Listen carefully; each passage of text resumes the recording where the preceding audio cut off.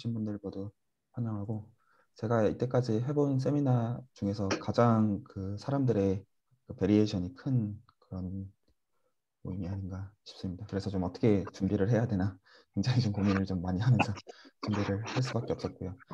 어, 이 첫 시간에는 이 information geometry가 무엇이냐 자체에 대해서 이야기하면서 사실 여기서 참 여러 가지 needs들을 갖고 참석하신 분들이 많으신 것 같고 오히려 수학 전공자분들은 거의 좀 없으신 상황입니다. 그래서 어디를 약간 이제 배경 지식으로 전제를 하고 설명해야 될지가 좀 많이 애매하게 느껴지더라고요. 그래서 그 어떤 분들께는 굉장히 당연한 내용들이 어떤 분들께 전혀 아닐 수가 있습니다. 어떤 이제 A부터 G까지. 그래서 그 중간에 이제 좀 애매하시거나 어떤 질문 있으시거나 제가 너무나 가정하면 안 되는 건데 가정하고 어떤 것들을 설명하고 있으면 그냥 끊고서 지적해 주시면 그 부분에 대해서 좀 더 얘기해 볼 수 있도록 해서 보겠습니다. 그 어떻게 보면 제가 이제 하는 것은 그 김재환 교수님께서 missing data 쪽에서 다뤄주시는 것들과 관련해 가지고 약간 이제 수학적인 약간 complement에 해당한다라고 저는 이해를 좀 하고 있고요. 어떤 이제 정보기하 자체도 자체지만 약간 수학적으로 이제 뭔가 생각하는 것이 어떤 건지를 좀 같이 알아가는 좀 그런 시간이 되기를 바래서 약간 이제 수학적인 사고가 무엇인지부터 좀 같이 출발하면 어떤가 싶더라고요. 그래서 일단은 좀 구체적인 예시가 있습니다. 수학을 보통 할 때는요. 그러면 그 구체적인 예시에서 그거 구, 구체적인 거 이면에 있는 구조들을 보고자 해서 그것으로부터 이제 어떤 일반화와 추상화를 생각을 하고 그리고 거기서부터 또 새로운 구체화를 만들어내고 또 새로운 일반화를 만들어내고 그래서 인간의 어떤 상상력이 어떤 한이 없는 한 계속 이런 식으로 이어지는 게 어떤 수학적인 사고 방식인 것 같아요. 그래서 일례로 어떤 저희가 초등학교 때 그런 것들 하지 않습니까? 어떤 사과를 한, 하나씩 양손에 쥐고 있으면 사실 이게 1 더하기 1이 2인 거예요. 어떤 그런 전신이잖아요. 그런데 더 이상 저희가 1 더하기 1이 2라고 말하는 시점에서는 사과가 더 이상 사과든 배든 아무 상관이 없고 심지어 카테고리를 과일일 필요 과일로 생각할 필요도 전혀 없죠. 그래서 돈에 대해서 같은 방식으로 생각할 수 있다는 걸 저희가 알고 있고 그럼 사실 어떻게 보면 어떤 사고의 어떤 비약이 일어나고 이제 있는 거죠. 그랬을 때 그러면 2 빼기 1은 1이라는 것은 어떻게 해석할 것이냐면 사과에 대해서도 해석할 수가 있겠지만 가령 이제 돈에 대해서는 일단 이제 돈을 잃는 것으로 해석하면 되겠다 하면서 이제 쭉 생각들의 방식이 이어져 나갈 거예요. 그래서 저희는 어떤 가능한 한 되게 simple하고 구체적인 예시들을 보는 거를 관찰하는 걸 토대로 어떤 얘기들을 하려고 하겠지만 사실 그 이면에 함의하고 있는 것들은 굉장히 사실 하나하나 깊은 정초들 담는 그런 얘기들을 좀 같이 보아, 보완하고자 하고요. 그리고 여러 수학 중에서도 저희는 정보기하, information geometry 관점에서 생각하는 방식들을 접하고 익히고자 하는데 이 기하라는 단어는 사실은 그 중국에서 의역을 한 단어예요. 그래서 이게 몇 기에 어찌 하자 이고 이게 어떤 much라는 의미지 이게 어떤 소위 도형학이 아닙니다. 그래서 이제 보통 이제 많이 하는 오해가 어떤 기하학이라는 상학형, 사학형 이런 것들을 공부하는 거 아니냐. 그게 아니라 정량적인 거에 관심을 갖는 학문을 보통 기하학이라고 불러요. 그래서 특히 어떤 저희가 관심을 갖고 있는 공간들에 대해서 그 공간들을 이해한 예를 들어서 어떤 부피가 있을 수도 있겠고요. 어떤 뭐 각도나 어떤 휘어짐이나 어떤 이제 요기는 그런 양들을 정량적으로 연구하는 수학을 통칭해서 보통 기하학이라고 호칭을 하고 그래서 이제 기하라는 단어는 전달이 됐다면 여기서 정보, information이라는 거는 실질적으로 뭐를 지칭하는 거냐면 한마디로 말해서 Fisher information matrix를 사실은 지칭합니다.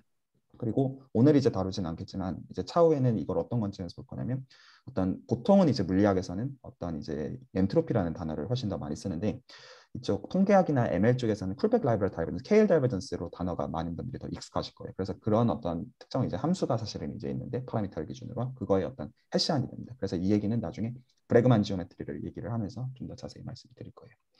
그래서 정보기하학이라는 거는 어떻게 보면 저희가 요것들을 공부하고 나서 와닿게 되는 것은 요 한 문장입니다. 근데 이제 오늘 그게 될지는 잘 모르겠고요. 그래서 통계적인 모델을 저희는 미분다양체라는 특정 미분기하학의 공간으로서 간주를 하고자 할 텐데 그때 공간 위에 주어지는 리만 metric 이게 뭔지 다 지금 정의를 해야 되는 단어입니다. 미분다양체 어떤 리만 metric.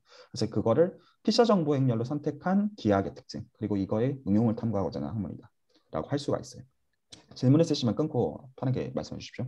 그래서 이 단어들 자체에 대해서 오늘은 초점을 맞추기보다 오히려 좀 구체적인 것들면서 좀 이런 얘기를 좀 하고자 하는구나. 약간 그런 쪽으로 좀 얘기를 좀 가져가 보고자 하고요. 오히려 이제 이 단어들 자체를 이제 알기 전에 그럼 이거 알면 어, 어디다 써먹을 수 있냐? 정준이 엄마. 그 죄송한데 그 필요 없으신 분들은 이제 음소거 해주시면 감사하겠습니다. 어.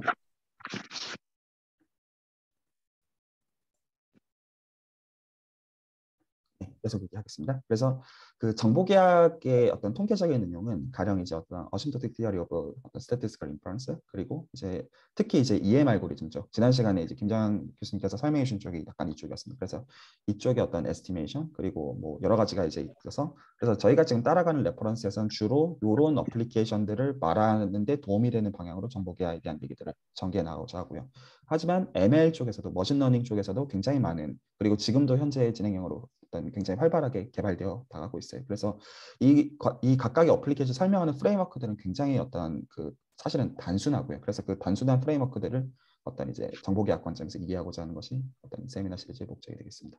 그런데 여기서 사실 자연스러운 어떤 질문이 있어요. 그래서 사실 여기 들어오신 분들만 하더라도 가령 이제 뭐 통계학이 되었든 아니면 ML이 되었든 아니면 또 어떤 쪽에 관심사가 되었든 그것들을 알아가는 데 있어 가지고 어, 수학이 중요하다 이 정도는 공감대가 바로 있으실 거라고 생각해요. 그런데 어떤 통계학과 수학의 관계다가 아니라 가령 이제 뭐 들어보신 단어들이 있을 거예요. 뭐 확률론이 중요하고 뭐 무슨 해석하기 중요하고 이런 것들 공부 좀 해보셨으면 그런 말들 들어보실 텐데 왜 하필 기하학이냐? 그러니까 좀 어떤 의미에서는 좀 관계가 별로 없어 보인다는 말입니다. 그래서 물론 있을 수도 있겠지만 근데 그 굳이 그걸 내가 굳이 알 필요가 있느냐? 약간 이제 이런 어떤 좀 까칠한 어떤 생각들을 좀 해볼 수가 있어요.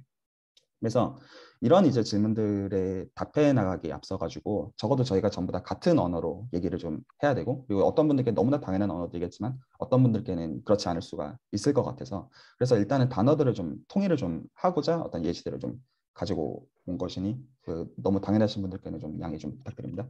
그래서 저희가 이제 주사위를 던지는 행위를 수학적으로는 어떻게 모델링을 할 수가 있을 거냐면 그럼 실제로 눈이 이제 여섯 개가 나올 테니까 집합으로서는 여섯 개의 원소를 들고 있는 그런 집합을 생각하면 될 거예요. 그리고 저희는 이런 이제 집합을 소위 말해서 이제 샘플 공간, sample space라고 칭할 겁니다. 그래서 어떤 이제 예시를 바꿔주면 실제로 그 녀석에 대응되는 sample space를 바꿔준다고 생각하면 돼요.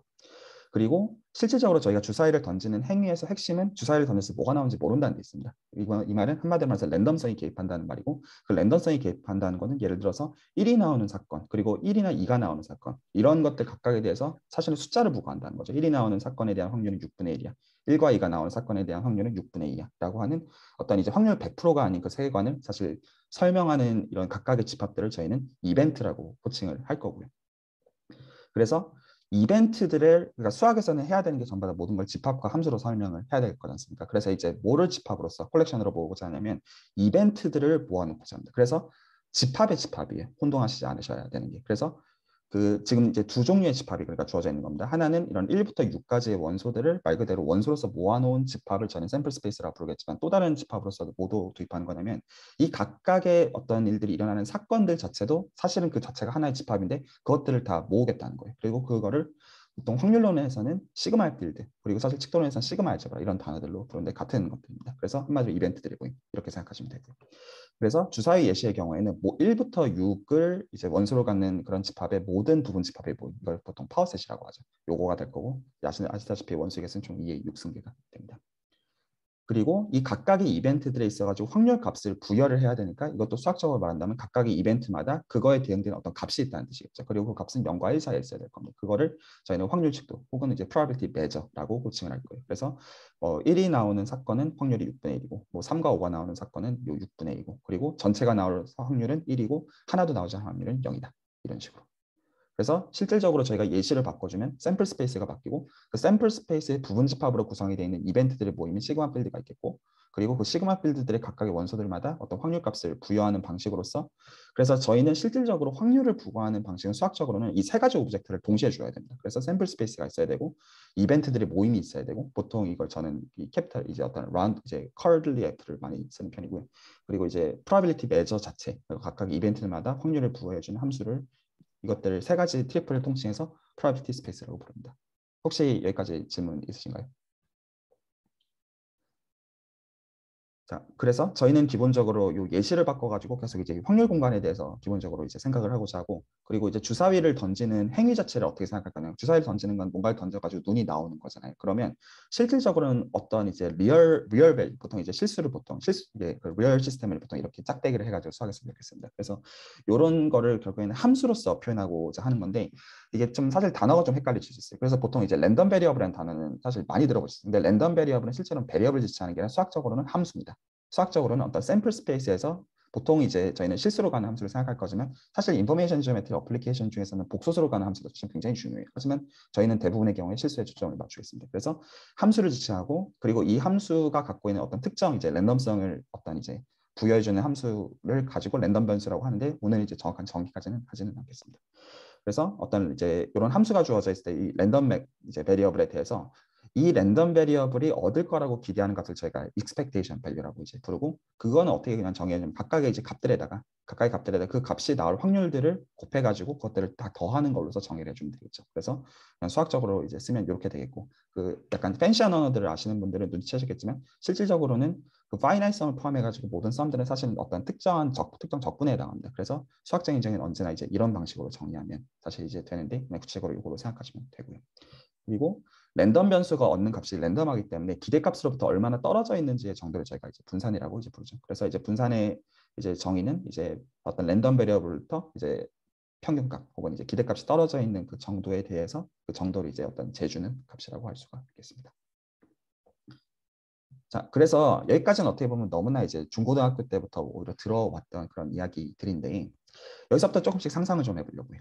그래서 지금까지 했던 이제 말들의 어떤 이면에 있는 것들을 같이 좀 생각을 해보죠. 지금 비록 논리를 어떻게 세웠냐면 1부터 6이라는 어떤 눈금이 있고 그래서 이 각각이 나올 확률은 6분의 1이다. 라고 그냥 어떤 이제 소위 모델링을 한 거죠. 근데 사실 그게 타당하냐는 질문을 할 수가 있어요. 사실 그렇게 말하기 위해서는 저희는 뭐로 생각하고 있었던 거냐면 주사위가 정확하게 어떤 정육면체 로 생겨야지만 그게 맞는 말이죠. 근데 주사위는 사실 그렇게 생겼을 리가 없단 말입니다. 그래서 사실은 가까이 주사위 생김새를 조금만 바꿔주더라도 실제로 어떤 이제 소위 말해서 모든 곳에서 6분의 1이 나와야 되는 이유는 사실은 없어요.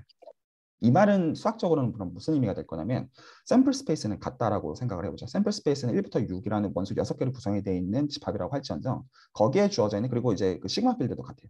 하지만 거기에 들어앉아 있는 프라이빗 배전은 같아야 될 이유가 당연히 없어요. 그러니까 unique하지 않다는 뜻입니다. 그리고 몇 개 있을까요? 당연히 무한 개 있을 거예요. 주사위들마다 있을 테니까요. 그렇죠? 그러면 실질적으로 어 그러면 우리가 어떤 확률을 부여할 것이냐의 문제는 사실은 요 어떤 이제 의존성이 실제로 있을 거란 말입니다. 그럼 이 관찰을 조금 더 틀어가지고 다 조금 더 저희한테 와닿게 좀 얘기를 좀 해보죠. 그러면 실질적으로 저희가 보는 값은 각각의 눈금들을 부여하는 것마다 그 녀석들에 해당하는 값을 얘기하는 거지 않습니까? 실질적으로는. 그리고 이 각각의 확률들을 바꿔주는 것마다 프라이빗 매저가 있는 거랑 사실은 당연히 1대1 대응이 있는 말일 거예요. 그래서 이 각각의 값들이 어떤 값들, 값들일 것이니 이 여섯 개의 값을 이제 순서쌍으로 모아가지고 R6의 원소라고 보면 되겠죠. 그래서 이 R6의 원소를 하나 얘기하는 것과 그 어떤 이제 probability measure, 어떤 확률 측도를 얘기하는 거가 사실은 같은 이야기일 거예요. 그 각각에 대해서. 그리고 이걸 수학적으로 fancy하게 또 이야기를 한다면 실제로 뭐가 좀 여기서 슬쩍 들어가 있냐면 확률 측도, probability measure 안에 random variable을 슬쩍 안쪽에다 넣어놨어요. 그래서 그 random variable에다가 값을 부여하는 것마다 어떤 값이 나오는 거니까 이거를 그 뭐라고 부르냐면 distribution이라고 그러죠. 그래서 실질적으로 probability measure를 결정하는 것과 probability distribution을 결정하는 것과 같은 문제인데 이 choice들이 이 주사위들에 의존된다라고 저희는 얘기를 하고 있는 거예요. 그래서 각각의 주사위는 각각의 확률 분포를 결정한다라고 말할 수가 있겠습니다. 혹시 여기까지 질문 있으십니까? 그래서 어떤 이제 통계학의 근본적인 문제들은 저희가 어떤 random하게 어떤 숫자들을 얻어냈어요. 어떤 상황이든지 간에. 그런데 그러면 그게 과연 어떤 주사위에서 왔다고 보는 게 타당한지를 결정해야 되는 문제라고도 사실 어떻게 보면 통칭할 수가 있을 거예요. 물론 구체적인 상황들은 이거와 다른 경우들이 왕왕 있겠습니다만 근데 이제 의미들을 헤아려 보면 사실상은 이런 상황들을 생각하는 경우들이 되게 많을 거라는 거죠. 그리고 저희가 이제 정보 기하에 대해서 다루겠다고 했으니 다시 한번 이 시점에서 질문을 좀 하고 싶어요. 그러니까 이런 문제들 가령 이제 어 그러면 좋다. 어떤 주사위를 쓸지 그리고 그 주사위를 가, 이제 이런 이제 R6의 원소를 하나 결정하는 것을 토대로 결정하고자 할지언정 기하과 상관이 있느냐 별로 상관이 없어 보여요. 오히려 어, 이거를 하기 위해서 예를 들어서 어떤 확률론이 중요하다. 아니면 이제 어떤 측도에 대해서 배우는 매저에 대해서 배우는 어떤 매저 티어리가 중요하다. 이러면 오히려 오케이인데 기하이 뭔 상관이냐? 약간 오히려 좀 까칠하게 좀 그렇게 보여지는 면들이 많습니다. 그래서 이제 그거에 대해서 이제 설득해 나가고자 하는 게 그 다음에 하고자 하는 이야기인데 혹시 더, 더 넘어가기 전에 질문 있으신가요? 그래서 지금은 어떤 생각을 하고자 하냐면 주사위를 결정하는 문제를 생각하는 것은 어떤 동일한 sample space와 동일한 sigma field 위에서 주어져 있는 probability distribution들의 모임을 생각하고자 하고 그리고 그것들을 이제 결정하기 위해서 우리는 이제 어떤 네, 어떤 기하학적인 관점들을 도입하고자 한다. 여기까지가 지금 말씀드리는 부분입니다. 질문이 없으시면 계속 얘기를 좀 해보도록 할게요. 그래서 사실은 위에 이제 눈금이 여섯 개인 것만 하더라도 이거를 시각적으로 표현하는 게임이어서 그냥 단순히 시각적인 게임입니다. 사실은 이제 눈금이 여섯 개든 백 개든 백만 개든 사실 무한개여도 상관없어요. 근데 가장 단순한 상황을 생각하기 위해서 그, 그 사실은 말이 안 됩니다. 사실 이제 면의 개수는 사실 네 개부터 사실 말이 되지만 마치 이제 면의 개수가 세 개만 있다라고 제가 가정을 하고 가장 단순한 상황을 생각합니다. 이유는 모든 걸 이제 R3에다가 표현하면 다 시각적으로 표현이 되니까 그냥 그게 단순한 이유입니다. 그러면 이 경우에는 각 주사위에 해당하는 확률 분포가 즉 R3의 원소가 하나씩 있는 것마다 그거에 대응되는 확률 칙도가 하나씩 있는 거겠죠. 그리고 이 각각의 값들은 저희가 전부 다 양수가 적어도 이제 0은 아닌 거를 생각을 하고 다 이 총합이 1이 되는 걸 저희가 이제 확률이라고 생각을 할 거죠. 그래서 실질적으로 어떤 probability distribution들의 모임은 이런 소위 말해서 그 simplex를 모아놓은 형태가 될 거예요. 그래서 R3의 원소인데 이 entry들을 다 더해놓은 것이 1이 되겠고 각각의 component들은 무조건 양수. 그러면 이제 이 경우에는 네 질문 있으시면 되겠습니다. 뭐 아니시면 계속 얘기를 할게요. 그래서 지금 저희가 이제 probability distribution들의 모임을 지금 이런 식으로 그림을 그려놓을 수가 있고 그리고 지금 이제 요 조건을 부과했기 때문에 이 꼭지점은 해당하지 않습니다. 꼭지점에 해당하지 않고 요 지금 안쪽에 내부에 지금 해당하는 그런 상황인 거를 아실 수가 있어요. 그리고 얘는 이제 소위 말해서 각져 있잖아요. 각져 있으면 저희가 이제 그 미적분화로 뭐를 알고 있습니까? 미분을 할 수가 없어요.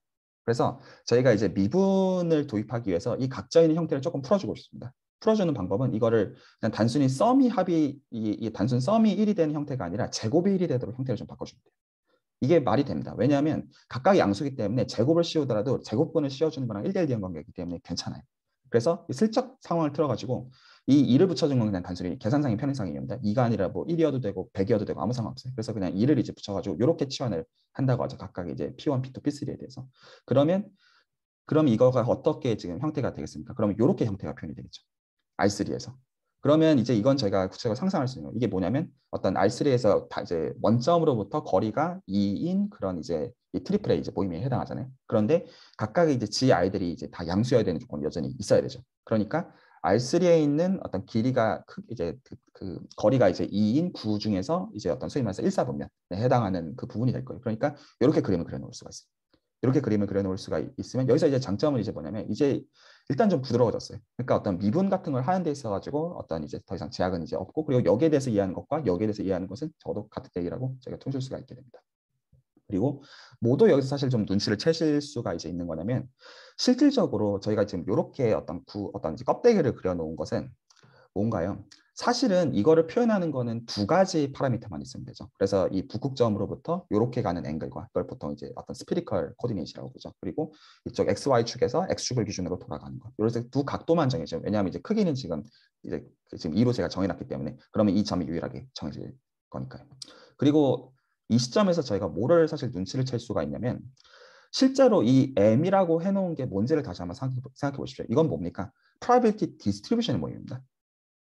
그러니까 이 각각의 원소들이 지금 지칭하는 것은 확률 측도 내지 확률 분포예요. 그런데 이미 저희는 여기서 어떤 식으로 생각을 하고 있냐면 이미 어떤 기하적인 공간을 생각하고 있죠. 자연스럽게. 그래서 기하적인 공간에서 이 각각의 element들마다 그 녀석에 대응되는 확률 분포 혹은 확률 측도가 있다라고 생각을 하고 있어요. 그래서 일단은 조금 어 뭐뭐 뭐 그럴 수도 있네. 약간 이 정도로는 보이기 시작해요. 자, 그래서 지금 이러한 공간을 좀 이해하는 쪽에서 저희가 이제 예전에 배웠던 그 약간의 다변수 미적 분학을 좀 쓰려고 해요. 오늘은 그래서 약간의 다변수 미적 분학은 안다라고 생각을 하고 얘기를 하겠지만 혹시나 또 불편하신 분들은 적해 주시면 고려하겠습니다. 자, 그래서 일단 이제 M이라는 집합은 현재 이제 저희가 저렇게 이렇게 표현이 되어 있는 이제 그 집합이라는 걸 알고 있어요. 그리고 어떻게 기하학적으로 생각해야 되는지 저희가 concrete하게 알고 있어요. 그래서 이 M이라고 하는 그리고 M은 제가 왜 이 기호를 M이라고 쓰냐면 저희는 나중에 이런 공간들을 manifold라는 단어로 부를 겁니다. 그래서 그걸 따가지고 제가 M이라고 적은 거예요. 그래서 이 M 위에서의 그 커브, 그러니까 어떤 이제 그리고 저희는 기본적으로 이제 미분 가능한 그런 커브들을 생각할 겁니다. 적어도 한 번 이상 미분 가능한. 그래서 그 커브는 어떻게 표현이 될 거냐면 각각의 어떤 시간을 고정하는 것마다 그 시간마다 이 M 위에서의 어떤 그 포인트를 뱉어주는 녀석이겠죠. 그러니까 커브는 가령 이제 생김새가 요런 이제 노란색 요렇게 가거나 요런 것들 혹은 이제 이것과 아니어도 되겠지만 요런 것들을 저희는 지금 생각하고 있는 걸 수학적으로 표현해 보면 각 T마다 이런 식으로 이제 어떤 어사인해 주는 그런 이제 상황이 될 거예요. 그러면 여기서의 이 커브의 접벡터는 저희가 어떻게 주어진다라고 대학교 때 배우고 넘어갔었냐면 제가 사실 지난학기 때 이거를 학생들한테 가르쳤었거든요.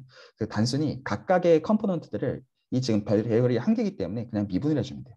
단순히 미분해주면 이게 실질적으로 어떤 뜻이 되냐면 이런 커브가 있으면 가령 저희가 요 점을 잡았다고 하면 그러면 이 커브를 따라 가지고 이게 지금 이 점에서 순간적으로 바뀌는 이 변화율 요 벡터라고 이 벡터를 이렇게 이거 이 지금 세타 1이라는 variable 기준으로 한 편미분이라고 생각해도 되고요. 그리고 지금 가령 이런 세, 이제 세타 2를 따라 가지고 움직이는 게 있으면 지금 그 방향으로 순간적으로 바뀌는 거를 요 세타 2 방향의 편미분이라고 보면 이게 어떤 벡터의 뜻을 갖습니다.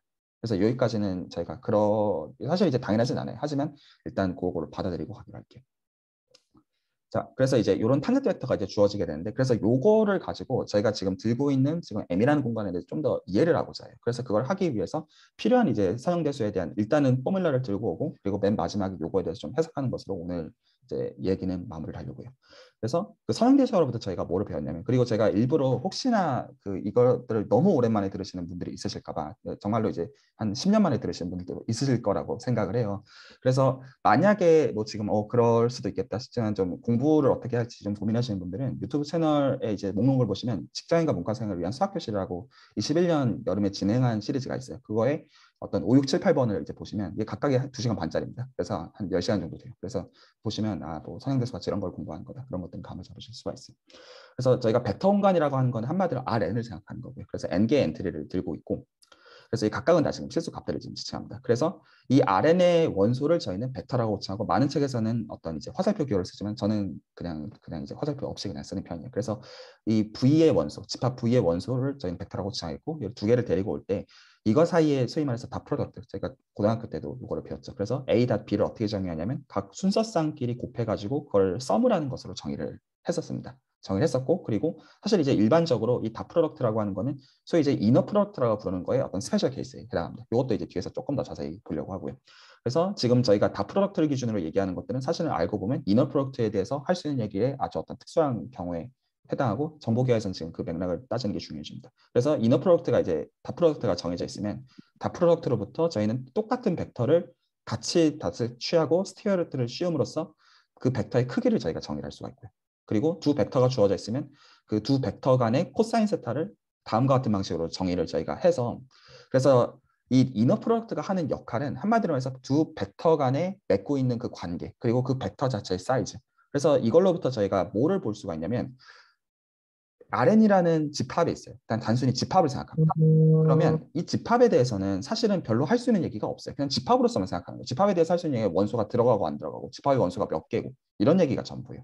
그런데 dot product를 부여한 시점에서는 뭐를 얘기할 수가 있게 되냐면 벡터 자체가 갖고 있는 크기가 얼마냐 그리고 두 벡터가 어떤 관계를 맺고 있느냐 라는 거는 뭐에 의존되는 concept이냐면 dot product에 의존되는 concept이에요. 그런데 여기서 이제 그 중요한 떡밥입니다. dot product는 inner product의 special case예요. 그래서 이 모든 얘기들은 inner product가 정해지면 inner product에 따른 magnitude와 두 벡터 간의 angle이 정해진다라고 말할 수가 있어요. 그리고 inner product의 선택지는 똑같은 RN 위에서도 다른 걸 줄 수가 있습니다. 이제 요 얘기를 이제 뒤에서 조금 더 자세히 필요하면 하겠습니다. 자, 그래서 일단은 dot product를 일단 별 생각 없이 쓰기로 하고요. 왜냐면 그게 적어도 저희가 써왔던 녀석이니까. 그래서 다시 돌아와서 저희가 R3에다가 dot product를 써가지고 아까 저희가 요 벡터를 표현했지 않습니까? 탄젠트 벡터를. 그래서 커브 C를 주고 커브 C의 사실 이제 gradient 벡터죠. 이제 요거를 이렇게 표현했는데 이거의 크기를 구한다고 했죠.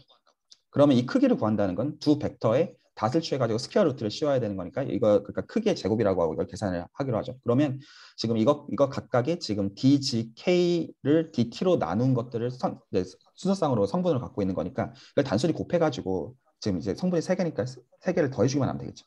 그렇죠? 그러면 이게 크기 제곱이 될 거예요. 그런데 저희는 GK라는 게 아까 뭐였냐면 아까 저희가 치환을 했었죠. 그래서 이제 P1 더하기 P2 더하기 P3가 1이었던 거를 이렇게 치환해가지고 형태를 이렇게 바꿔치기 했었단 말입니다. 그래서 이제 그거를 이용을 해줍니다. 그래서 저희가 이 관계를 알고 있으니까 근데 이제 square root가 이제 2분의 1승이랑 같잖아요. 그래서 저희가 다 아는 미분을 할 수 있는 얘기들입니다. 그래서 미분을 이제 해주게 되면 그 이제 소위 이제 chain rule에 의해서 그 이렇게 됩니다. 그렇죠? 그래서 지금 이제 여기를 이렇게 바꾸죠. 그리고 여기 지금 제곱이 있으니까 여기 지금 마이너스 2분의 1승이 원래는 이제 있는데 그거를 이렇게 이제 마이너스 1승으로 쓰고 그리고 여기를 다시 제곱을 해주면 될 거예요. 이렇게 적힙니다. 그렇죠? 근데 이제 여기서 사실 이거 되게 어떤 신기한 거예요. 왜냐하면 사실 여기서 이 형태를 표현하는 데 있어가지고 뭐를 좀 관찰할 거냐면 그 역시 이제 체인룰을 써가지고 로그 pk를 t에 대해서 미분한다고. 지금 이 pk들 자체는 지금 t에 대해서 지금 각각마다 바뀌는 녀석입니다. 그러면 그 이거 ln을 지칭합니다. 그래서 이제 일단 pk가 아래로 내려가고 이것도 단순 미적분하고 저희가 알고 있는 겁니다. 그리고 내부를 한 번 더 미분해 주면서 이렇게 되는 형태라는 걸 알고 있어요. 그러니까 이게 형태가 좀 비슷하단 말입니다. 그래서 이걸 어떻게 볼 거냐면 이 형태가 되도록 지금 이 pk가 마이, 그 이제 마이너스 했으니까 분모에 한 개가 있잖아요. 그래서 분모에 한 개를 더 곱해주고 하나를 더 밖으로 빼면서 분자에다가 하나를 해서 그 지금 두 개가 분모에 있는 걸 안쪽으로 넣어서 이렇게 쓸 수가 있어요. 이건 중요한 관찰입니다. 나중에 지금 이걸 가지고 저희는 pk랑 로그 pk의 곱으로 해가지고 소위 말해서 엔트로피 혹은 kl 다이버전스를 자연스럽게 유도할 수 있다는 뜻이 저희는 이미 사실 그거의 어떤 전신을 보고 있는 거예요. 왜 로그가 생뚱맞게 등장하기 시작하냐라는 것들을 사실 여기서 슬쩍 눈치를 챌 수가 있어요. 그리고 아직은 이제 좀 그 적어도 오늘 얘기에서는 전부 다 얘기는 안 할 겁니다. 그래서 수리 통계를 공부해 보신 분의 경우는 이 표현의 정체가 사실 무엇인지 눈치채시겠는지 사실 그게 한 가지 해볼 만한 좋은 필요한 질문이 되겠죠. 그, 네, 그 나중에 김장현 교수님께서 웃으시니 나중에 이제 그 선생님께서 여쭤보시면 많은 어떤 시간 내로 다 얘기를 못 해주시겠지만 너무나 많은 얘기를 해주실 거라 생각합니다. 자, 그래서 더 일반적으로 지금 저희가 비록 한 벡터의 크기에 대해서 얘기를 했지만 그 M에 있는 각각의 원소 G1, G2, G3라는 거는 사실은 저희가 뭐를 아까 그림에서 보았냐면 물론 이것 자체는 순서상 세 개로 표현이 되는 원소들인 게 맞지만 실질적으로는 각도 두 개만 정해지는 즉 파라미터 두 개로 정해지는 녀석이라는 걸 알고 있어요. 그러니까 실질적으로는 이걸 음. 수학적으로 말한다면 사실 이건 2차원 공간이라는 뜻이 왜냐하면 두 개의 파라미터만 가지고 비록 R3의 표현이 되어 있지만 사실은 변수는 파라미터 두 개만 음. 있으면 사실 되는 상황인 거죠. 그래서 실제적으로 각각의 원소는 파라미터 두 개에서 결정되기 때문에 수학적으로 무슨 뜻입니까? 세타가 정해져 이 세타는 세타 1과 세타 2라는 두 개 순서쌍을 갖고 있는 녀석을 지칭합니다. 그래서 이 G라고 하는 거는 세타에 대한 함수라고 말할 수가 있게 되죠. 바꿔 말해서 지금 G와 P도 원래 P가 probability distribution이었습니다. 그래서 이 녀석이 네, 이 녀석이 지금 이제 세타에 대한 함수라고 말할 수가 있겠습니다.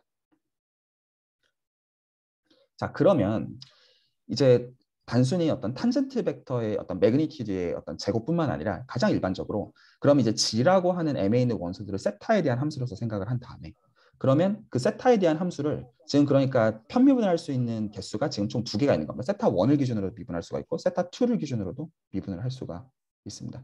아, 네, 지금 이제 채팅방에 올라온 거 처리했습니다. 감사합니다. 자 그러면 이것 그 실제로 제가 이렇게 라운드 J, 라운드 1이라고 쓴 거는 실제로 세타 1과 세타 이제 세타 i 번째랑 세타 j 번째 방향으로 편미분해 가지고 벡터를 만든 거죠. 벡터를 만들었으면 그걸 기준으로 dot product를 취할 수가 있잖아요. 벡터라고 하는 건 말 그대로 아래 원소에 해당하는 거니까. 혹시나 이제 편미분에 대해서 불편하신 분들은 요거를 참고하시면 제가 이제 상세하게 얘기를 해놨습니다. 자 그러면 이것도 역시 정의가 실제로 무슨 얘기예요? dot product가 각각의 순서쌍을 곱해가지고 더하는 거라고 저희가 봤었잖아요. 그래서 이 각각에 대해서 그냥 이 j 번째랑 i 번째로 편미분해가지고 뭘 곱해가지고 더해주는 걸로 정의가 돼요.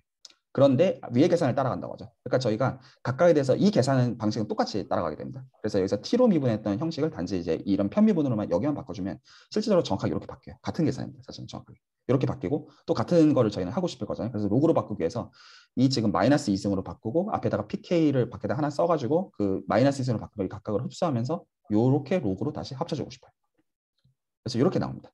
혹시 그래서 같은 질문이 됩니다. 지금 보시면 두 벡터가 있었어요. 그래서 J번째 방향과 I 번째. 이 J랑 I는 같아도 되고 달라도 됩니다. 그래서 이 inner product를 취해주고 나니까 dot product를 취해주고 나니까 얘가 나왔어요.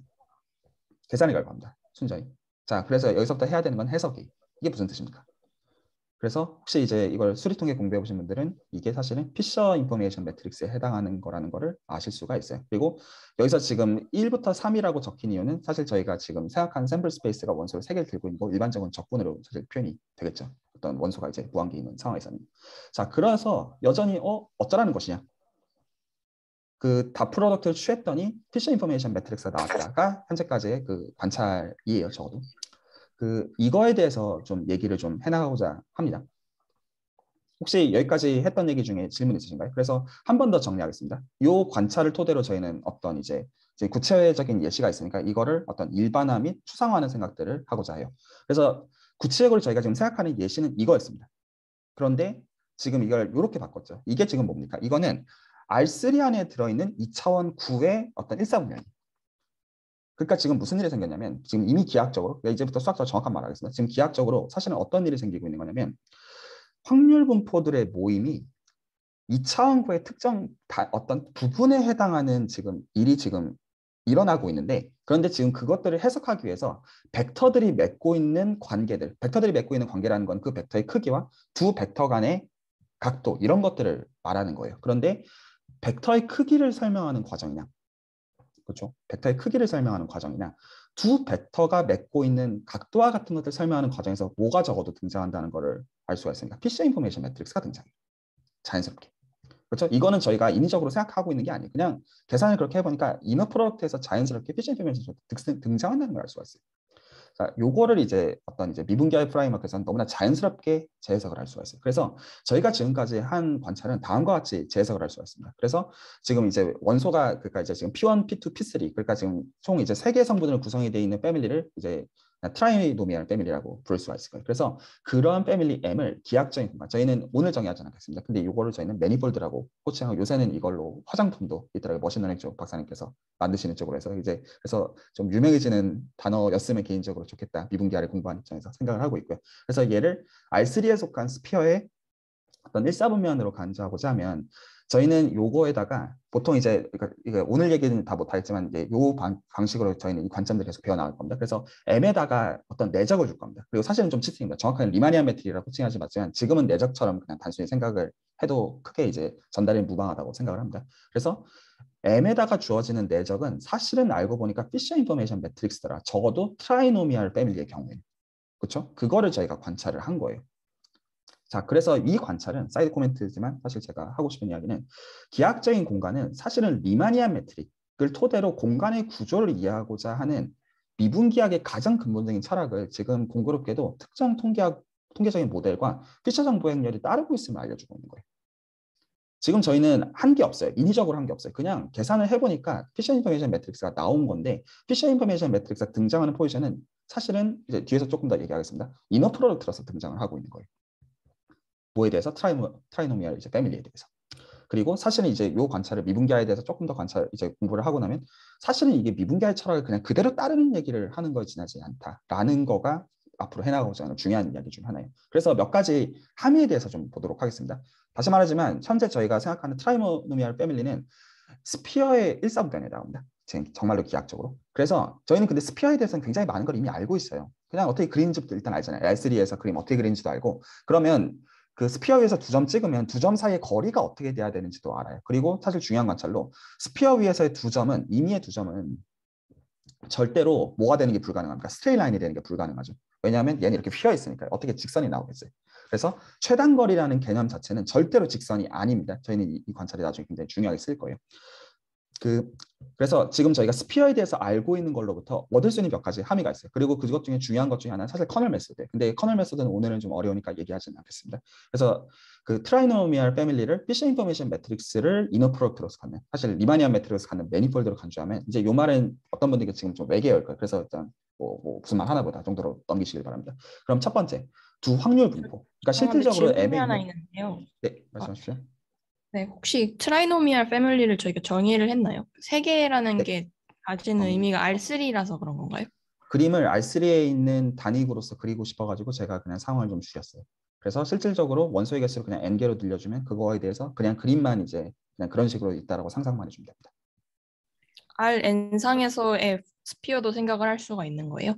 네, 실질적으로 그래서 지금 원소가 3개니까 S2가 된 거고요. 2차원구가 된 거고 Rn에서는 일반적으로 n-1 dimension sphere가 되고 사실 infinity dimension이라고 사실 돼요. infinity dimension에서 multinomial 네, 말씀하세요. 네. 멀, multinomial도 항상 9의 스피어의 1사분면 위에 있다고 생각을 해도 될까요? 그게 답이에요. 그래서 실질적으로 multinomial family의 정체는 사실은 어떤 이제 sphere의 어떤 이제 그 1사분면에 해당하는 거예요. Fisher information matrix 기준으로.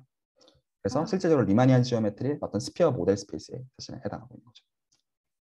네, 여기서 3이라는 숫자는 그냥 그림으로 직관을 위해서 가져오신 거라 생각하면 되겠죠? 네. 그리고 감사합니다. 그냥 2x2 matrix로서 Fisher information matrix 계산할 수가 있으니까 그걸 위해서 그냥 아. 거예요. 감사합니다. 자, 그래서 저도 질문이 하나 있는데요. 네. 예. 그 자연스럽게 계산을 했더니 어, 내적 Fisher information matrix가 나왔다라고 얘기하셨는데 처음에 그 미분 가능하지 않은 그 모양을 구로 만드셨잖아요. 근데 그때 어떠, 어떻게 그 무슨 식을 주셨는데 그걸 다르게 줬으면 다른 matrix가 나왔을까요? 그냥 궁금해서 질문이 중요한- 되는지 모르겠어요. 중요한 지적입니다. 그 지금 이제 말씀하신 지적하신 부분은 지금 실제로 저희가 들고 시작한 녀석은 이 녀석인데 들고 시작한 녀석은 이 녀석인데 그거를 지금 이제 요 지금 제곱으로 형식을 바꾸게 되면 이게 어떤 그 이렇게 이제 부드러워지는 효과가 있어서 우리는 이제 이렇게 지금 바꾸고 그리고 이렇게 바꾼 전자에서 우리는 이거의 기하학적인 해석을 따라가고 싶다라고 한 건데 실질적으로는 이 두 개가 지금 집합으로서는 1대1 대응 관계가 있어요. 집합으로서는. 그런데 사실은 이 두 공간은 엄밀히 말하면 다르죠. 일단 생김새가 기본적으로 다르잖아요. 그래서 그 여러 가지로 해석을 할 수가 있어요. 하나는 저희는 일부러 지금 똑같은 공간에 대해서 어떤 이제 소위 말해서 리만 매트릭을 골라서 내적을 골라가지고 일부러 공간이 이렇게 보이게끔 저희는 사실은 고르고 있는 거예요. 그런데 똑같은 공간이라고 하더라도 내적을 고르는 방법은 사실은 무한개의 초이스가 있어요. 그래서 그런 초이스 중에서는 이렇게 사실 볼 수 있는 그렇게 보는 관점도 택할 수가 있다라고 말할 수가 있는 거예요. 그래서 그 실제로 이런 디스트리뷰션들의 모임을 언제나 이렇게 봐야 되냐 이거는 아니에요. 그러니까 근데 이렇게 볼 수가 이제 있고 이렇게 보는 경우 이런 해석을 쓸 수가 있다. 그리고 그 해석이 요긴하다를 써먹으려고 하는 거죠. 근데 언제나 누구나 이렇게 봐야 된다는 뜻은 전혀 아닌 겁니다. 그리고 이거 아닌 다른 식으로 레프레젠트하는 방법들도 당연히 있을 거예요. 그리고 그것들 다른 것 중에서 더 요긴한 것들도 있을 수는 있을 겁니다. 박사님 네. 저도 궁금한 거는 어. 하고 거- 궁금한 거는 다른 식으로 representation을 하면 그걸 막 계산을 하면 똑같이 Fisher information matrix가 나올까요? 그렇죠. 그렇죠. 그게 지금 중요한 포인트예요. 지금 그래서 이 계산을 보시면 실제로 저희가 맨 마지막에 tangent vector를 그러니까 실제로 GK라는 이걸 나중에 저희는 똑같 그러니까 이게 실제로는 어떤 일을 하고 있는 거냐면 이 점 근처를 표현하는 방법을 어떤 GK를 쓰든 아니면 PK를 쓰든 그거랑 무관하게 여기의 표현은 똑같단 말입니다. 최종적으로. 그러니까 어, GK를 썼던 다른 표현을 썼던 이걸 PK를 돌려놓으면 이 형태는 반드시 이거여야 되잖아요. 탄젠트 벡터의 크기의 제곱. 그래서 사실은 어떻게 레프레젠트를 하더라도 불변하는 것들을 저희는 하고 있으니까 기하학적으로 리즈너블하다고 말할 수가 있게 되는 거예요. 하지만 그거를 설명하는 과정에서는 사실 어떤 그림을 생각해도 상관은 없는 거죠. 그 어떤 걸 그림을 그리더라도 사실 그 탄젠트 벡터를 맺고 있는 역학 관계는 바뀌지 않습니다. 감사합니다. 예. 네, 안재진 선생님. 아, 저 근데 저도 질문 하나 있는데 그 왜 Z를 이 루트 파, 이 루트 P로 왜 앞에 2를 왜 붙이는 붙여서 그 원래 P1 플러스 P2 플러스 P3가 1인데 그걸 왜 4로 만드는지 그게 궁금 이유가 있는지 궁금해가지고요. 계산해서 이렇게 지금 어 제가 이유가 있어서 이거를 했었는데 지금 맥락에서는 상관이 없는 것 같아요. 지금 맥락에서는 이는 별로 의미 없는 입장 같아요. 1로 그냥 맞춰도 다른 걸로 맞춰도 이 현재까지 계산이 상관없는데 다른 계산들 하다 보면 이게 좀 요긴할 때들이 있어가지고 제가 그냥 그대로 그대로 가져왔습니다. 네, 감사합니다. 또 다른 질문들 또 있으신가요? 질문해 주셔서 감사합니다. 그 지금 계속 설명할 때 보면 편미분이 나오잖아요. 근데 그 편미를 보면 이제 DT로 편미분을 하잖아요. 근데 그 T가 진짜 무슨 시간 개념이 들어가는 건지 아니면 그냥 편미분을 사용하기 위해서 그냥 편의적으로 DT를 쓰는 건지 그게 좀 궁금합니다. 네, 편의적인 개념입니다. 그래서 이제 어떤 이제 커브를 저희가 생각을 하고자 했을 때 커브를 생각하는 게 마치 이제 어떤 이제 가- 이제 수학적으로 정확하게 이제 one parameter family라고 불러야 되는데 각각의 어떤 값마다 그 값에서 이제 assign 되어진 어떤 m 위에서의 원소가 이제 있는 거거든요. 그래서 가장 직관적으로 생각하기 좋은 방식이 시간이 흘러감에 따라서 커브가 이렇게 가는 방식으로 생각하는 게 그냥 직관적으로 쉬우니까 그렇게 설명하는 거지 실제로 시간이 간다고 생각을 꼭 해야 되는 거는 아닌 거죠. 예, 감사합니다. 네, 의미 있는 지적이라고 생각합니다. 네, 또 다른 코멘트들 있으신가요? 질문이 있는데요. 네. 지금 여기서 출발이 랜덤 베리어블이 디스크리트한 경우인데 만약에 컨티뉴스한 경우에도 비슷한 결과가 나오나요? 네, 이게 그 다음에 하려는 얘기입니다. 아, 예. 네, 또 다른 질문들 있으신가요? 저기 처음에 그 형태가 미분 가능하지 않아서 변환을 하셨다고 예. 처음에 설명을 해주셨잖아요.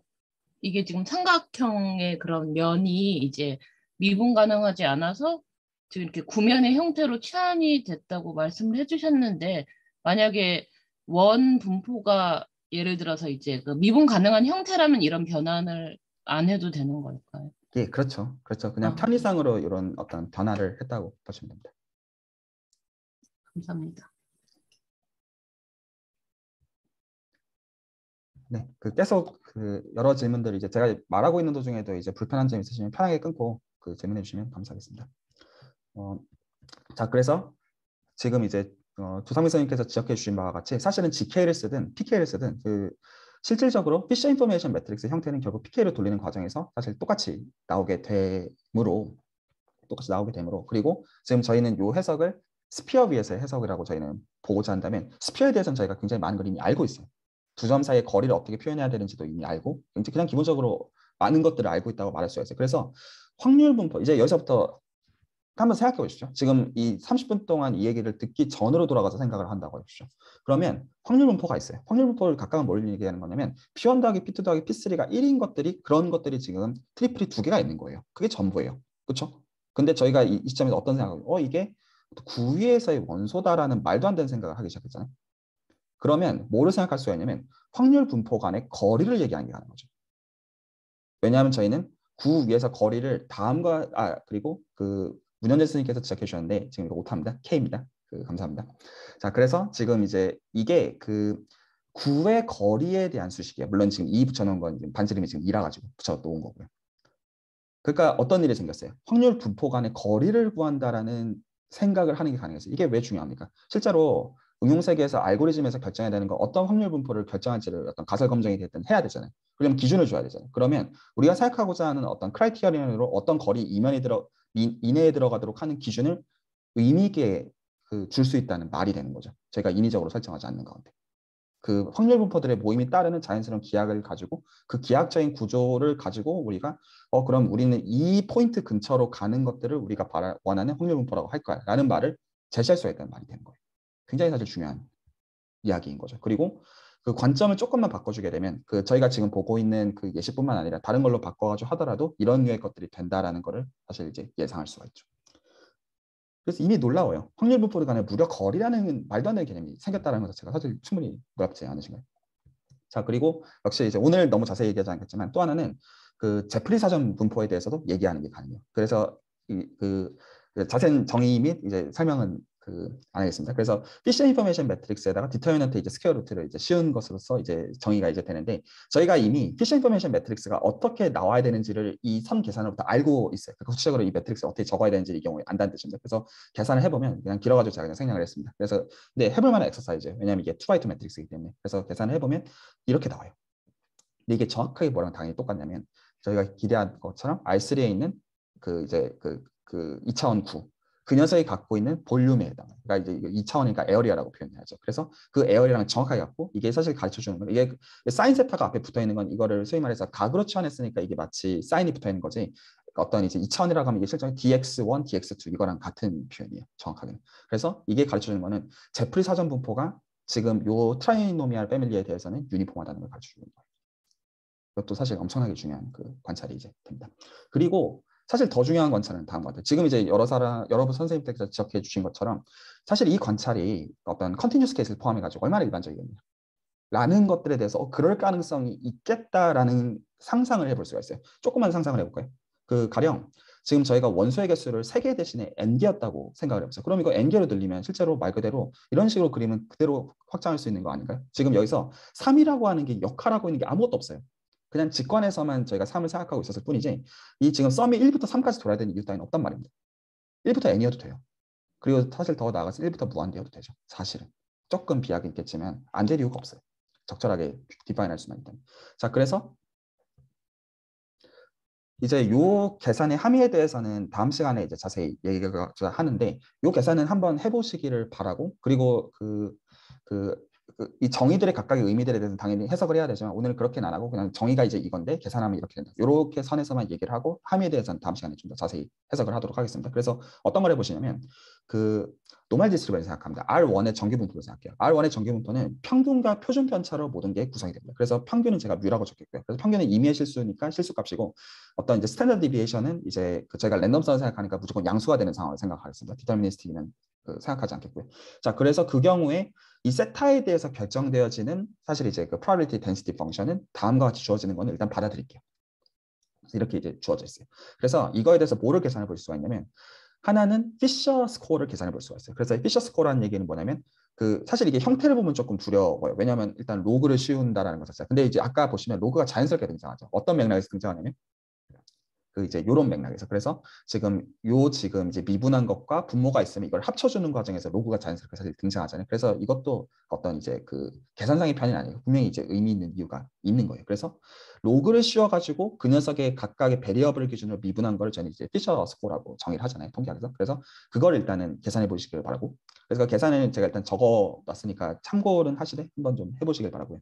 그리고 하나는 Fisher information matrix도 다음과 같은 방식으로 정의할 수가 있어요. 그래서 Fisher score 자체도가 지금 이제 어떤 벡터다 보니까 거기다가 transpose를 해가지고 곱해주게 되면 matrix가 되고 그 각각의 entry에다가 expectation을 취, 취함으로써 이렇게 정의하는 것도 정확하게 Fisher information matrix랑 같아서 사실 이 방식으로 가장 많이 계산을 하잖아요. 그래서 이걸 계산을 해보면 그래서 이제 계산 제가 적어놓긴 했으니 참고만 하십시오. 제가 그냥 한번 해본 겁니다. 틀렸을 수도 있습니다. 근데 계산을 해보면 근데 답은 제가 알고 있어요. 답에 끼워 맞춰놨어요. 답은 이렇게 나와요. 그래서 그 이거를 다시 한번 보겠습니다. 이게 무슨 뜻이냐? 그래서 얘가 지금 Fisher information matrix입니다. 그래서 지금 현재 그 각각의 이제 probability density function은 어떤 파라미터들로 주어져 있냐면 평균과 표준 편차로 구성이 되어 있어요. 그런데 평균은 임의의 실수예요. 그런데 표준 편차는 양수여야 돼요. 그 얘기는 R2에서 위를 보고 있는 겁니다. R2의 위쪽을 보고 있는 거예요. 즉 상방 평면 혹은 upper half plane을 보고 있는 거예요. 그리고 upper half plane의 각각의 포인트들이 사실 뭐에 대응되는 거예요? 그 녀석에 대응되는 probability 이제 density가 있는 거죠. 아까 그 trinomial과 비슷한가요? trinomial의 경우도 실제로 저희가 비록 P1, P2, P3를 생각해서 sum이 1이 되는 그 각각마다 사실은 distribution 하나씩 있는 거죠. probability distribution 자체가. 자 이제 distribution이라는 단어는 probability distribution 단어를 크게 구분하지 않고 그냥 섞어가지고 쓰겠습니다. 마찬가지로 얘도 지금 여기에 있는 각각의 포인트들마다 그 녀석에 대응된 density가 있는 거잖아요. 그런데 이미 아까 위에서 저희가 어떻게 해석했냐면 실제로 그 각각의 distribution들은 뭐에 해당한다? 여기에 있는 원소에 하나에 해당한다라고 보고 그리고 대놓고 정말로 지금 여기 이 지금 이제 생김새의 기하학을 따르는 것처럼 저희는 생각하고 싶어 했잖아요. 그 말인즉슨 이 그림에서도 이 upper half plane이 따르는 geometry가 있을 거예요. 그래서 그 geometry를 따라 가지고 이 probability 그 distribution들의 모임이 결정되고 있는 것처럼 생각하고 싶지 않겠냐라는 거예요. 그런데 그거를 생각하기 위해서 Fisher information matrix를 계산을 해보니까 그 경우에는 이렇게 나와요. 계산의 결과입니다. 아까 그 드린 이제 정의를 가지고 이 형태는 지금 좀 묘해요. 어떤 센스에서 묘하냐면 이 시그마는 이거 6 아니라 시그마입니다. 제가 이제 글씨 혹시 못 써가지고 이제 생각하시면 이게 유관이 시그마입니다. 그, 그 얘가 어떤 특징을 갖고 있냐면 시그마가 그러니까 당연히 분모는 0이면 안 되잖아요. 정의가 안 돼요. 그러니까 근데 시그마가 언제 0이 되냐면 이게 x축, 그 뮤축으로 갈때 0이 되죠. 그러니까 이 지금 시그마가 0으로 갈 때는 이 값이 지금 무한대로 발산해야 돼요. 즉, 이 지금 뭐를 보는 게 불가능해. 이 뮤축을 못 본다는 얘기예요. 왜냐하면 발산하는 거는 정의가 안 되니까요. 그래서 이게 어떤 포인트가 그각 포인트마다 density가 사실 하나씩 distribution 하나씩 있는 겁니다. 그러면 이게 이렇게 x축으로 가다가 어떤 일이 생겨서 못 갈 거라는 얘기예요. 그렇게 geometry가 사실 결정이 되어 있을 거라는 얘기예요. 그래서 이런 타입의 metric을 그 미분기하학에서는 Poincaré metric이라고 합니다. 굉장히 유명한 metric이에요. 그래서 사실 이제 물론 이제 제가 이제 하나씩 설명은 나중에 해드리겠지만 이런 계산들이 사실 어떠한 기하학적인 의미를 담고 있느냐 Fisher info 그러니까 Fisher score부터 시작해가지고 사실 score는 저희는 나중에 뭘로 해석할 거냐면 그 statistical model을 모델 이제 manifold로 보고 manifold 위에서 vector field 벡터장으로 해석할 거예요. 그리고 그 벡터장 위에서의 자연스러운 Riemannian metric이 Fisher information matrix인데 한마디로 말해서 R1의 normal distribution의 기하학적인 R1의 normal distribution 모임의 정체는 수학적으로 정말로 manifold로서 upper half plane에 해당한다. 그리고 사실 이게 미분기하학의 한 가지 모델 공간에 해당한다. 그래서 사실 저희는 뭐를 다 이미 보고 있는 거냐면 이제 오늘은 이것들에 대해서 해석을 하고 마무리할 겁니다. 미분기하학이라고 하는 과목은 사실은 세 가지 공간을 기준으로 공부를 해요. 그래서 가장 기준이 되는 공간 당연히 유클리드 공간이에요. RN. 근데 모든 공간이 RN처럼 생겼을 리 없잖아요. 그래서 그 가장 이제 대표적인 좋은 공간이 sphere예요. 그리고 sphere 말고 나머지 한 가지 공간에 해당하는 게 upper half plane이에요. 이 세 가지 공간이 가장 이제 어떤 표준적인 모델에 해당하는데 저희가 방금만 본 게 두 가지 모델 공간을 본 거예요. 그래서 trinomial family의 경우는 보니까 sphere에 해당하고 저희가 가장 많이 쓰는 normal distribution들의 모임에 보니까 upper half plane에 해당한다는 거죠. 뭐가 있어요. 그렇죠? 이거는 그냥 어 뭐 그렇구나 하고 넘길 정도의 관찰은 적어도 아니고 아까 제가 맨 처음에 드린 질문으로 다시 연결을 해보죠. 어떤 이제 이런 이제 통계학적인 세계관을 이해하는 데 있어서 기하학이 필요하겠느냐? 이거 해석들은 각자에게 맡기고자 합니다.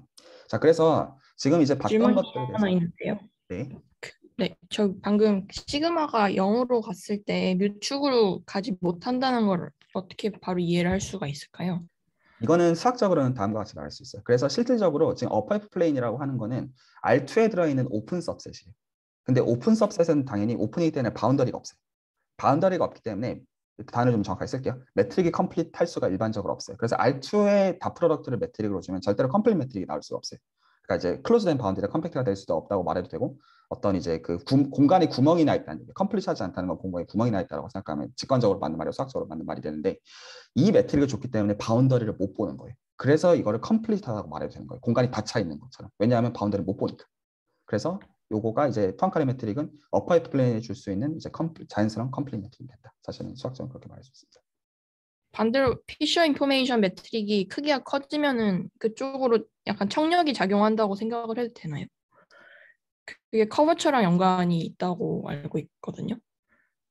거기서 두 가지를 사실 좀 조심해서 얘기해야 되는데 하나는 manifold를 설명할 때 manifold는 각 점마다 이건 조금 단어를 좀그 어떤 분들께 아직 이해를 못하실 때 좀 양해 부탁드립니다. 그 manifold의 각 그 포인트들마다 사실은 어떤 이제 그 local neighbor들을 잡아야 되거든요. 그런데 이 지금 그 Riemannian metric을 matrix로 표현하는 것들은 이 local neighbor에 대해 choice에 depend를 해요. 그래서 만 제가 지금 이거를 일부러 이렇게 적어 놓은 건데 만약에 이걸 standard deviation 대신에 variance로 쓰게 되면 이 형태가 좀 바뀌어요. 하지만 그거 자체가 Fisher information matrix가 바뀐다는 뜻은 아니에요. 그래서 이제 matrix로 represent 하는 거는 사실 coordinate에 의존된다. 하나는 그게 있고요. 근데 이제 independent 하는 거에 대해서 geometry는 당연히 커베이지에 의존되죠. 그래서 이거는 약간 통계적인 맥락에서 저희가 하는 세미나 명령에서는 어떻게 설명할 거냐면 이 asymptotic 그 그러니까 이제 제가 이제 요것들을 설명을 할 건데 나중에 그 이쪽에서 그 지금 이제 그, 그 second order 쪽에 에러를 보는 데 있어가지고 사실은 curvature를 저희가 봐야 된다. 이런 식으로 저희는 해석할 거고 요거의 application으로서 어떤 이제 그 MLE가 사실 어떤 걸 지칭하고 EM 알고리즘이 사실 왜 이제 그, 그 어떤 이제 그 아마리 기준의 connection 기준으로 지우되시게 되는지 그런 얘기들을 그때 나중에 할 거예요. 네, 지금은 조금 예고 정도로 들으시면 될 것 같습니다. 그 다른 질문들 혹시 있으신가요? 그래서 이제 해석들을 좀 해나가고자 하는 게 이제 그다음 얘기들인데 그 질문들 있으시면 끊고 편하게 질문해 주십시오. 그래서 어 뭐 지금까지 본 거는 어떤 두 가지 예시를 봤어요. trinomial family와 그리고 그 normal distribution들의 모임 자체가 그 녀석들의 Fisher information matrix 그냥 계산해 보니까 뭐가 되더라. 그냥 약간 요런 유의 얘기였는데 일단 matrix예요. 맞죠? 그냥 어떤 two by two matrix예요. 저희가 이제 본 것들은. 그래서 선형대 수학에서 얘기를 다시 한번 좀 보겠습니다. 그래서 선형대 수학에 저희가 뭐를 좀 배웠냐면 그 각도와 크기를 결정해 주는 기준이 내적이에요. 그래서 두 벡터 간의 어떤 크기, 아, 제 각도와 어떤 한 벡터의 어떤 크기. 그래서 이거는 inner product에 결정되고 지금까지 저희가 본 어떤 사실 위의 예시의 경우는 dot product 기준으로 얘기를 했었죠. 그래서 제가 이제 그냥 편의상 오늘 이제 들고 온 예시가 다 2차원이라 가지고 R2라고 표현을 한 거지만 사실 이게 Rn이어야 되고 사실 무한 차원이도 상관없습니다. 그래서 내적은 어떻게 정의해야 되냐면 벡터 두 개를 받아 가지고 어떤 값을 이제 출력해 주는 함수예요. 그리고 어떤 성질들을 만족을 하는 함수입니다. 소위 말해서 bilinear하고 각각의 이제 성분들을 기준으로 linearity를 가지고 있고 자세히 제가 적어놨는데 이제 다, 어, 다 아시는 거라고 생각해서 설명을 더 자세히 안 할게요. 그리고 어떤 이제 이 벡터가 똑같은 걸 집어 넣어가지고 는 언제나 0보다 크거나 같고 0이 되려면 일상적으로 0 벡터를 넣어야 된다. 이런 게 이제 잘 알려져 있는 inner product의 definition이고 dot product일 필요가 없어요. 자 그리고 내적이 주어져 있으면 내적을 가지고 자기는 임의의 벡터의 크기를 magnitude를 정의할 수 있고 또 역시 벡터의 어떤 두 벡터 간의 사이각을 정의할 수가 이제 있고 그리고 특히 이 사이각에 대한 수식을 제가 중고등학교 때는 제이코사인 법칙이라고 불렀었어요. dot product를 기준으로 사실 얘기를 하고 있었던 거죠. 자 이제 여기까지는 일단 그 여기 계신 분들 대부분 아실 거라고 생각하고 그냥 간단히 넘기겠습니다. 자 그러면 이제 여기서부터 아까 위에서 했던 것들을 다시 한번 생각을 해볼게요. 일부러 제가 그 2차원을 오늘 이제 예시로 다 들었기 때문에 지금 상황을 이렇게 세팅해 놓은 겁니다. 그래서 임의 두 벡터를 데리고 와요. 임의 두 벡터를 데리고 와서 임의에 지금 정의는 inner product가 집어넣어요. 그러면 이제 이너 프로덕트가 만족하는 정의를 가지고 실제로 얘네들을 이제 1,0과 0,1의 linear combination으로 다 적어보게 되면 그냥 이렇게 적혀요. 그냥 이제 쭉 풀어 헤친 겁니다. 괜찮으시죠? 그다음에 내적이 갖고 있는 정의가 이제 있으니까 혹시 너무 빠르거나 하면 채팅방으로 말씀해 주시든 하시면 제가 풀어 설명해 드릴 수 있습니다. 그래서 내적 자체가 갖고 있는 정의를 가지고 이, 이 녀석을 적어보게 되면 이렇게 적혀요. 근데 이걸 조금 fancy하게 적어보게 되면 어떤 식으로 이제 적히게 되냐면 그 이렇게 적을 수가 있어요. 이렇게. 그래서 이제 인풋과 아웃풋을 좀 다시 좀 비교를 해보겠습니다. 지금 어떤 관계가 있냐면 이 두 벡터를 넣었어요. A, B랑 C, D라는 벡터를 넣으니까 이렇게 아웃풋이 나왔어요. 그리고 여기서 어떤 일이 생겼냐면 이 가운데가 등장해요. 가운데. 근데 이 가운데가 각각의 entry가 어떻게 결정되냐면 1,0과 0,1을 inner product에다가 넣음으로써 결정이 되는 그 value에 의해서 결정이 되는 2x2 matrix예요. 그렇죠? 자, 그러면 inner product를 만약에 저희가 쓰고 있는 거에서 다른 걸 고른다고 생각을 해보십시오. 그러면 뭐를 바꾸겠습니까? 여기가 바뀐다는 얘기예요. 여기가 바뀌면 무슨 일이 생겼습니까? 벡터 똑같은 벡터의 magnitude가 바뀔 것이고 그리고 똑같은 두 벡터를 고르더라도 그거 두 개가 맺고 있는 사이각이 바뀐다는 얘기겠죠. 맞죠? 자, 그래서 만약에 지금 이제 요 그리고 그러니까 이 sense에서 이 2x2 matrix를 inner product라고 여겨야 되겠죠. 왜냐하면 inner product는 얘를 결정하고 얘가 결정되면 inner product 결정이 된다고 말할 수가 있으니까.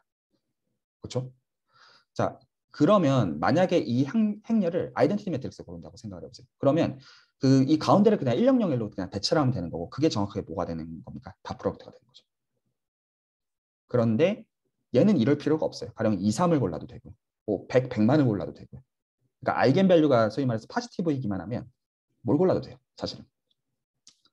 자, 그렇기 때문에 저희가 이때까지 가령 이제 피타고라스 정리를 생각을 했다고 하는 것은 x제곱 더하기 y제곱의 이 빗변의 크기가 요거의 제곱이 된다는 거는 사실 뭐를 기준으로 얘기하고 있는 거냐면 1001을 기준으로 얘기를 하고 있었던 거예요. 그런데 이게 1001만의 특권이겠냐는 거예요. 아닐 것처럼 보인다는 거 이건 저희는 나중에 Kullback-Leibler divergence 기준으로 하는 피타고라스, 피타고라스 정리로 얘기를 할 거예요. 그래서 실질적으로 저희가 지금 본 거는 절대적인 진리에 대한 이야기가 아니라 바프로크에 대한 얘기가 아니라 내적에 해당하는 행렬을 단지 그때로 보았을 때 이야기 인 거라서 이제 정의를 정확하게 하면 저희가 기하 중에서 유클리드 기하이라고 부르는 것은 쓰는 내적이 dot product. 그런데 그렇지 않은 기하, 그러니까 내적 자체의 선택지를 항등 행렬로 고르지 않은 identity matrix 고르지 않은 경우들을 비유클리드 기하이라고 부를 거고 오늘날의 용어로서는 Riemannian geometry 혹은 리만 기하이라고 부르는 게 조금 더 타당해요. 그러면 그 질문을 할 수가 있죠. 그럼 우리는 inner product로 identity matrix 아닌 걸 골라야 되냐? 그 이 matrix를 뭘로 보는 게 제일 자연스럽게 통계학 면에서는 두 가지 선택지가 있어요. 하나는 Fisher information matrix. 이거 또 하나는 covariance matrix. 그런데 저희는 사실은 Fisher information matrix를 골라줄 거예요. 그래서 Fisher information matrix를 inner product로 골라준 공간을 공부하는 것을 저희는 정보기하라고 부르겠다는 거예요. 그리고 미분기하의 가장 근본적인 철학은 이제 뭐냐면 내적이 정해지는 순간을 생각해 보십시오. 내적을 저희가 줬어요. 내적의 선택지는 사실 무한개가 있어요. 내적을 줬어요. 왜냐면 eigenvalue 바꿔주는 것마다 내적은 다 바뀌지 않습니까? 그러면 그 시점에서 벡터의 크기와 두 벡터의 사이각은 정해지기 때문에 이게 뭐를 결정할 거냐면 R2에 있는 벡터들이 구체적인 생김새가 결정이 된다는 얘기일 거예요. 그렇죠? 내적이 정해진 시점에서. 즉 내적은 공간의 기하학적인 구조를 사실 완전히 지배하고 있어요. 그래서 이 기하학에서 내적의 중요성을 따서 사실 이제 이 리만이 처음 생각했으니까 이제 Riemannian geometry라고 부르는 건 사실 리만은 이제 가우스라고 하는 저희가 이제 가우스 함수로 늘 10대 그 10대 때 싫어했었던 그 사람의 어떤 제자예요 리만이. 그래서 그 베른하르트 리만을 따서 Riemannian geometry라고 비록 이름은 부르지만 실제로 그 미분기학에서는 notation으로 가우스를 따가지고 G라고 표기해요. 그래서 보통 manifold는 M과 G의 pair를 보통 지칭하는 경우가 많고 이 G의 선택지로 저희는 뭘 쓰겠다는 거냐면 Fisher information matrix를 저희는 쓰겠다라는 거예요. 그리고 비유클리드 기하학에 쓰이는 용례는 기본적으로 너무 많아요. 가령 한마디로 뭐냐면 유클리드 기하는 언제냐면 Rn일 때만 되는 거예요. 근데 오늘 저희가 본 예시대로 trinomial family 뭐가 됩니까? Rn인가요? 아니에요. 기본적으로 sphere의 단면이에요. normal distribution은 뭐냐면 생각해 보시죠. Rn인가요? 아니에요. upper plane이에요. 이 얘기는 뭐냐면 해당되는 inner product들이 다 product가 아니라는 얘기예요. 그리고 그 자연스러운 choice들을 해보면 그 정체가 놀랍게도 PC 인포메이션 매트릭스랑 정확하게 같아집니다.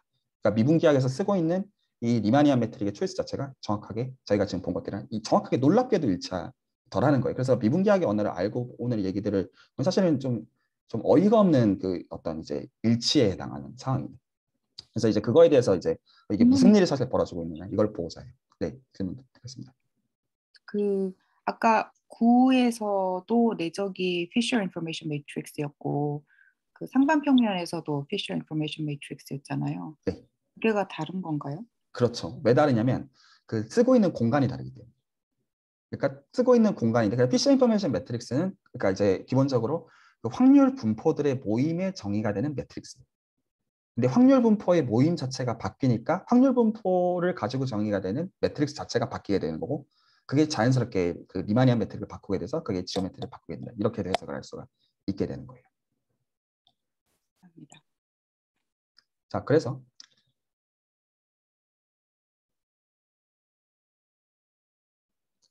어, 사실 저는 오히려 이 방금 이제 해주신 질문 너무 중요한 질문이라고 생각하고 저도 개인적으로 궁금한데 제가 그 이제 통계학을 이제 모르는 입장에서 생각하는 직관은 사실은 알고자 하는 통계학에서 가장 알고자 하는 건 사실은 이제 그 분산이에요. 뭐 사실 expectation도 자체도 중요할 수 있겠지만 그리고 이제 분산을 이제 parameter를 여러 개를 늘리면 소위 말해서 covariance matrix예요.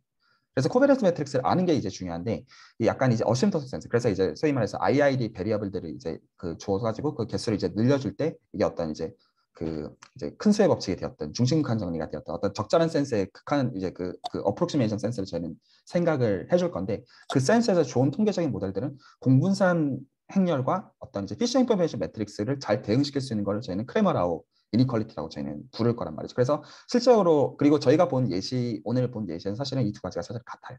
그러니까 이제 normal distribution의 케이스에서는 covariance matrix는 사실 Fisher information이 정확하게 일치하는 상황이에요. 사실.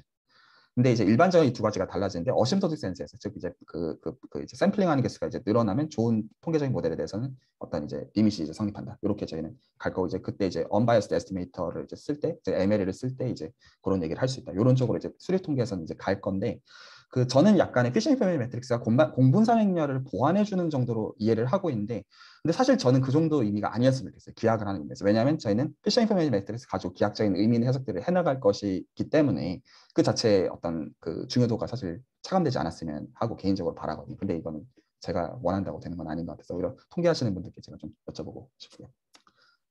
자, 그래서 이제 질문을 좀 더 듣기 전에 오늘 이제 렉처를 마무리하는 코멘트만 하겠습니다. 그래서 그 제가 처음에 드린 질문이 뭐였냐면 과연 이런 어떤 확률 분포들의 모임을 통계학적으로 이해하는 과정에서 기하학적인 관점이 중요할 수가 있겠냐라는 질문 드렸어요. 그리고 오히려 아무 생각 없이 봤을 때 조금 회의적으로 보이지 않으셨나요? 어, 수학은 중요해. 뭐 그럴 수 있지. 어, 기하 아니지 않나? 그 약간 이런 관점이길 바랬는데 상관이 좀 있어 보였으면 좋겠고요. 그리고 사실은 crucial하다라고 저는 사실 이제 claim을 하고 싶고 적어도 오늘 얘기하자는 거는 이게 왜 이렇게 되는지에 대한 설명을 하지 않았어요. 그러니까 관찰을 한 거예요. 그러니까 이런 경우에는 지금 이렇고 이런 경우 이런데 적어도 Fisher information matrix 중에 어떤 일이 생기더라. 이게 오늘 한 얘기예요.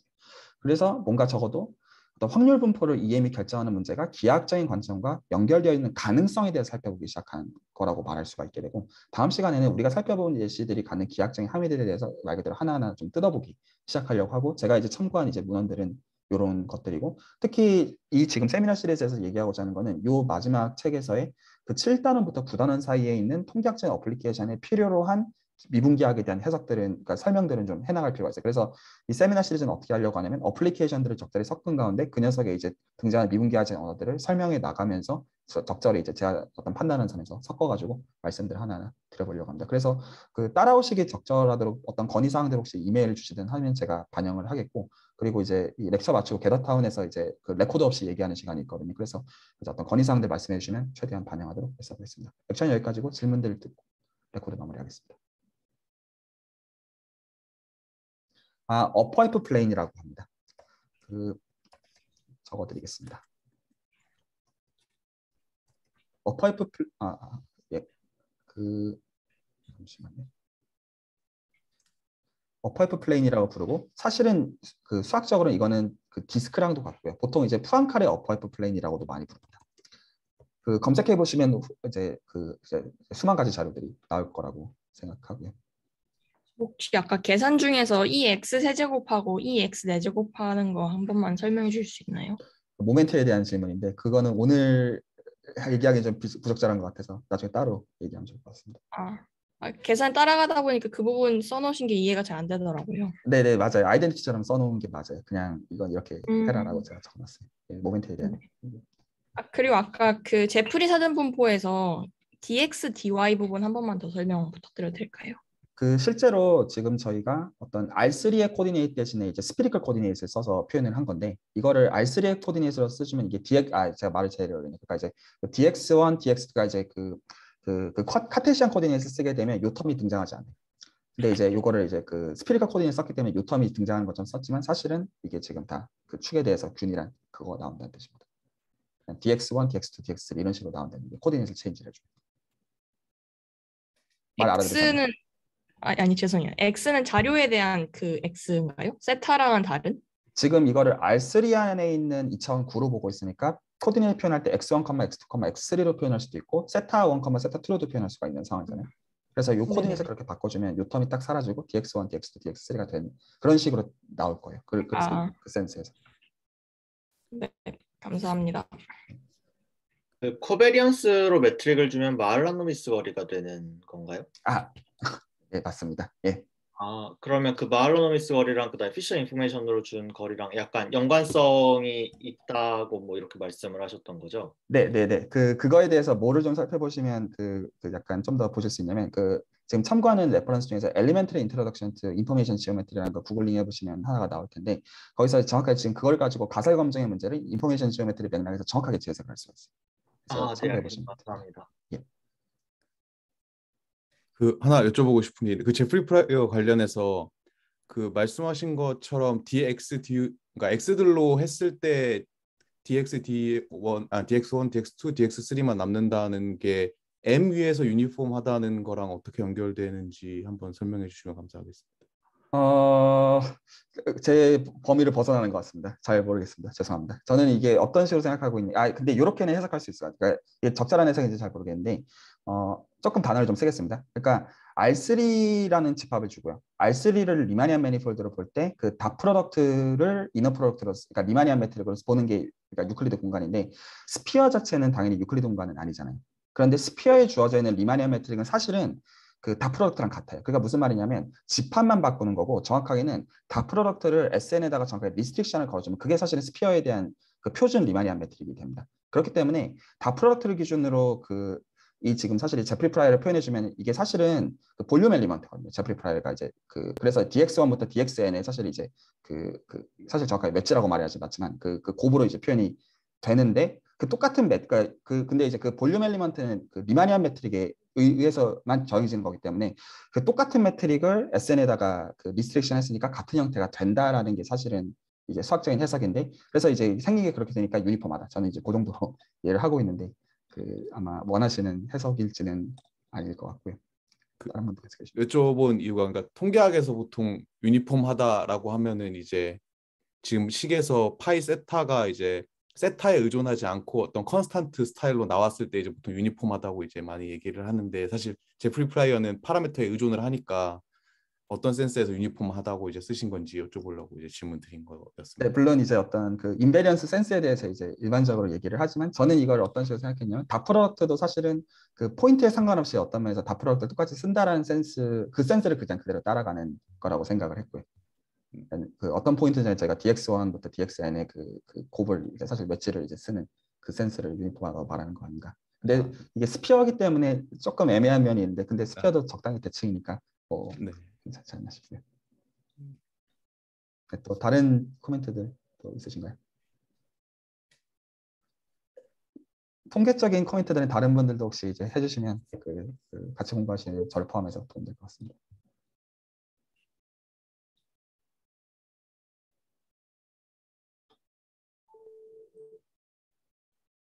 아, 예, 맞습니다.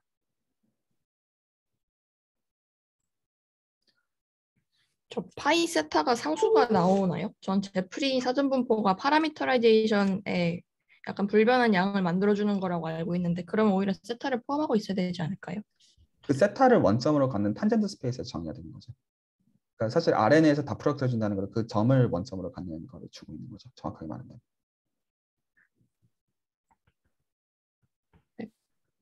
그 통계학적으로 조금만 그 보완 설명을 어, 추가 설명해 드리자면요. 그 인포메이션 매트릭스는 결국은 어, 수학적으로는 공률 반경 공률 반경 개념인 것이고요. 그 공률 반경 개념이라는 것은 결국 얼마나 그 커브가 잘 휘냐에 얼마나 그게 이제 빨리 변하느냐의 문제니까 이제 그 maximum likelihood estimator 입장에서 생각을 하면은 그 그것 그것이 그 분포가 maximum likelihood estimator 주변으로 그 분포가 이렇게 얼마나 빨 그 뭐죠?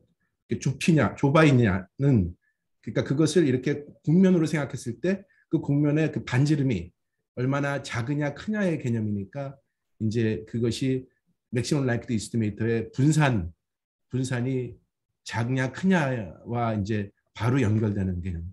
아까 그 질문이 그거랑 이제 연결되는 것 같은데 그런 개념으로 이제 많이 이해를 하고요. 그게 이제 뭐 나중에 뭐 Cramér-Rao 뭐 이제 하한과도 연결이 되지만 기본적으로는 기본적으로는 이제 그게 가장 전 어, 통계학적인 해석인 것 같습니다. 네, 감사합니다. 혹시 다른 분들도 코멘트 있으신가요?